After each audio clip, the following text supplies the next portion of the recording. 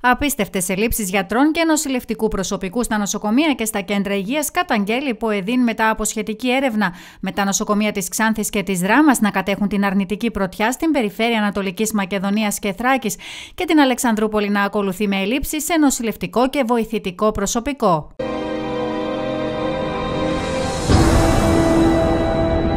Μεγάλες ελλείψεις ιατρικού προσωπικού καταγράφονται στην παθολογική κλινική του Γενικού Νοσοκομείου Ξάνθης. Η κατάσταση όσον αφορά την ιατρική υποστελέχωση στο νοσοκομείο της Ξάνθης ε, είναι γνωστή το τελευταίο διάστημα. Το μεγαλύτερο πρόβλημα ε, υφίσταται στην παθολογική κλινική, που είναι δύο παθολόγοι και δεν μπορούν να ανταπεξέλθουν στα καθήκοντά τους.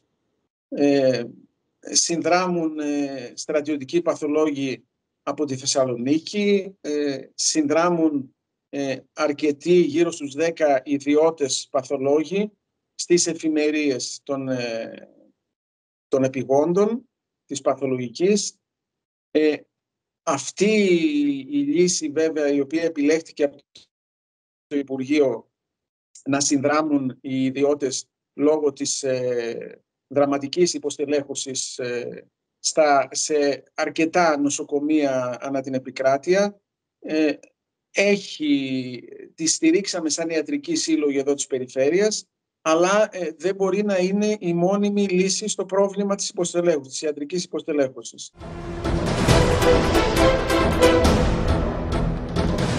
Παρόμοια περιγράφεται και η κατάσταση στο νοσοκομείο της Δράμας, όπου η έλλειψη ιατρικού προσωπικού δυσχεραίνει την επαρκή παροχή φροντίδας υγείας. Το βασικότερο πρόβλημα το οποίο αντιμετωπίζει αυτή τη στιγμή το νοσοκομείο, το νοσοκομείο της Δράμας ως περιφερειακό νοσοκομείο είναι η υποστελέχωση, κυρίως της παθολογικής κλινικής, μετά και από την παρέτηση της επιμελήτριας του τμήματος παθολογικής και το πλέον μόνιμο προσωπικό αυτή τη στιγμή είναι μόνο η διευθύντρια του παθολογικού τμήματος του νοσοκομείου Δράμας. Όπως αντιλαμβάνεστε, χωρίς παθολογικό τμήμα δεν μπορεί να στηριχτεί η ολόκληρη λειτουργία ενός νοσοκομείου.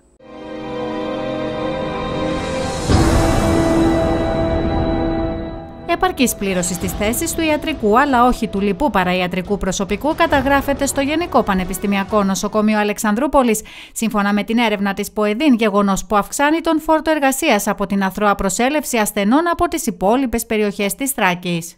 Ελλείψεις σε νοσηλευτικό, βοηθητικό προσωπικό αλλά και τραυματιοφορείς εντοπίζει ο Πανελλήνιος Σύνδεσμος Δημόσιων Νοσοκομείων σε έρευνα που πραγματοποίησε στο Πανεπιστημιακό Γενικό Νοσοκομείο Αλεξανδρούπολης.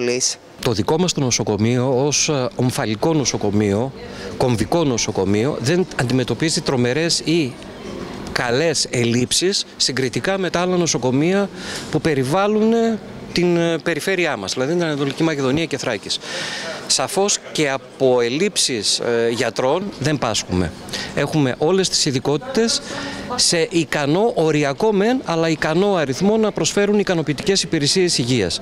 Με τη μόνη διαφορά ότι ο φόρτος εργασίας του νοσοκομείου, επειδή ακριβώς υπάρχει η υποστελέχωση σε όλα τα περιφερειακά νοσοκομεία της ε, περιφέρειας Ανατολικής Μακεδονίας Τράκη και δεν υπάρχει η πρωτοβάθμια περίθαλψη, ο φόρτος εργασίας είναι αυξανόμενος σε όρια επικινδυνότητας. Οι παθολογικές δουλεύουν με 100% πληρότητα, με προσωπικό το οποίο έχει πάρει άδεια μια εβδομάδα όλο και όλο. Ε, οι άδειες αυτές τρέχουν από το 22, άλλοι έχουν να πάρουν από το 21 άδεια. Προσωπικό το οποίο μέσω όρο ηλικίας είναι 53 χρονών. Καταλαβαίνετε τώρα για έναν νοσηλευτή, τραυματιοφορέα 53 χρονών ή και 60 που υπάρχουν αυτή τη στιγμή με, μέσα στο καλοκαίρι να έχει να πάρει μια εβδομάδα άδεια. Τι ξεκούραση, τι σωματική, τι ψυχοφθόρα κατάσταση είναι αυτή για το προσωπικό. Οι ελλείψεις σε νοσηλευτικό να πούμε πρώτα 582 οργανικές θέσεις και είναι καλυμμένοι στις 400. Αν βάλουμε ότι έχουμε και 100 επικουρικούς, οι οποίοι αυτή τη στιγμή με την πρόσληψη, με τις προσλήψεις που γίνονται με την 7K που βγήκε το 22 και ακόμη δεν έχει τελειώσει, τώρα αρχίσαν να έρχονται, ε, οι οποίοι περισσότεροι μπορεί να μην αποδεχτούν και τις προσλήψεις βλέποντας τις καταστάσεις που υπάρχουν στο νοσοκομείο και οι περισσότεροι αυτοί είναι που ήδη δουλεύουν στο νοσοκομείο σαν επικουρικό προσωπικό.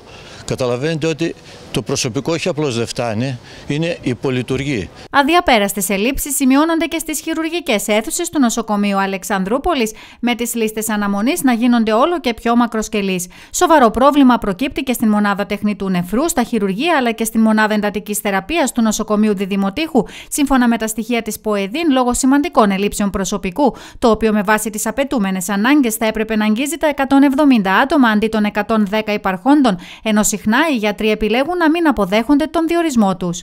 Την ίδια ώρα, μελανή περιγράφεται και η κατάσταση στο κέντρο υγείας Ορεστιάδο, αφού υπάρχει έλλειψη σε μικροβιολόγο, παιδίατρο, παρασκευάστρια, τεχνικό ακτινολόγο και διοικητικό προσωπικό.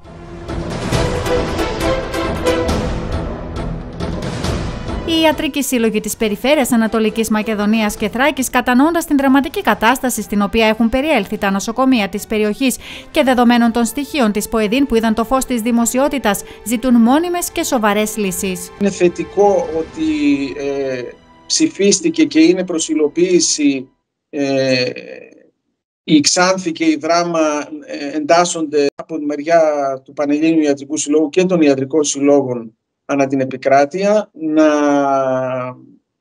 προκηρυχθούν οι θέσεις ε, των γιατρών που είναι σε δραματική υποστελέχωση, των κλινικών που είναι σε δραματική υποστελέχωση και να μείνουν ανοιχτές μέχρι να πληρωθούν.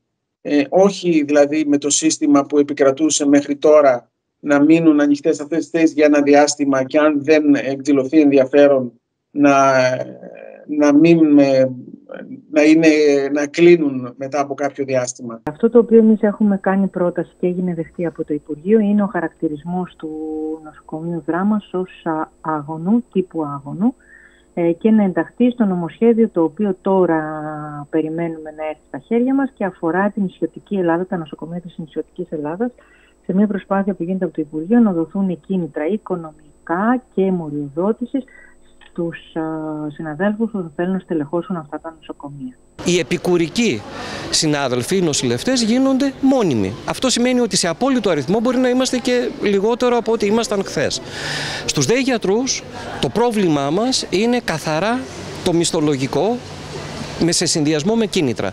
Δεν μπορεί να περιμένεις από έναν γιατρό να έρθει να κάνει survivor στην ε, εσχατιά της επικράτειας με έναν ευτελή μισθό ο οποίος δεν φτάνει ούτε για ζήτο.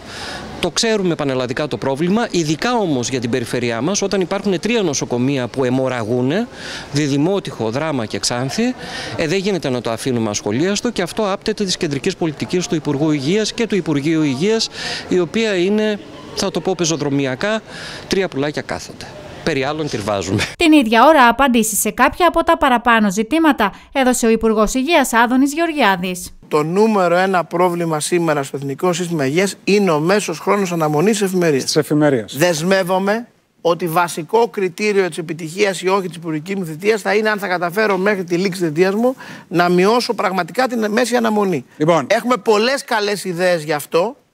Πολλές καλές ιδέες γι' αυτό και δεν θα πάρουμε αποφάσεις κόντρα στο τι θέλει το ιατρικό και νοσηλευτικό προσωπικό. Κάθε απόφαση θα πάρουμε θα έρθει σε συνεννόηση και με την ΕΙΝΑΠ και με την ΟΕΔ. Λοιπόν, εμείς θα επιδιώξουμε την επόμενη εβδομάδα πιθανότατα. Επίσης, να απαντήσω κύριε Καδάκη, συγγνώμη, ότι η οικία για τα άγωνα έχει υπογραφεί σήμερα και από εμένα και από τον κύριο Θεμιστοκλέους. Έχει σταλεί στο Υπουργείο Οικονομικών. Πιστεύω θα υπογραφεί εντός εβδομάδας. Άρα πηγαίνει προς δημοσία.